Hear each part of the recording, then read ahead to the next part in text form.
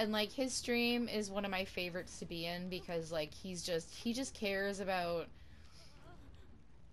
I don't know, like he's just a the kind of streamer that you'd like you think all your favorite streamers are all like the person that your all favorite streamer is all fake being he's actually the person so it's like Is no one know. coming for you? no oh someone is now well someone thought about it but now uh yeah ellen ellen came thanks girl. But she's fucking coming bitch